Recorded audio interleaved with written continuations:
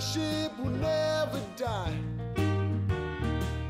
You're gonna see it's our destiny. You got a friend.